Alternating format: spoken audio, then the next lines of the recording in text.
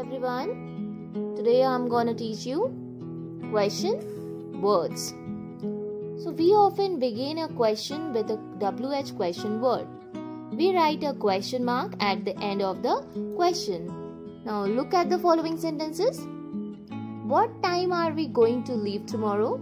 Who is your best friend? Where are my chocolates? So these sentences are question sentences. Question sentences starts with special words called question word and end with a question mark. So in these sentences what, who, were, are question words. Now different question words are used to ask different types of questions. Like who used to ask about the people. See the example? Who is at the door? The girl. Now, what? What is used to ask about things? What is your favorite color? Blue.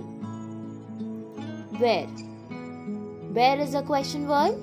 So, where is used to ask about places? Where are my books? On the table.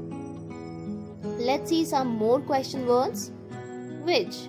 Which is used to ask about options or choices. So the example, which is the largest city in the world? Tokyo. So answer is Tokyo. Now when? When is used to ask about time. When do you wake up every day? At 5 o'clock. Now, look at these questions.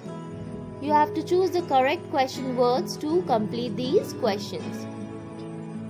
First number, Dash is the President of India. Now, what will you choose? When or who? We are asking about people, so we will use who. Who is the President of India? Dash is your birthday you're asking about time so you will use when. When is your birthday? So in this way you will choose correct question words. Okay. So thank you everyone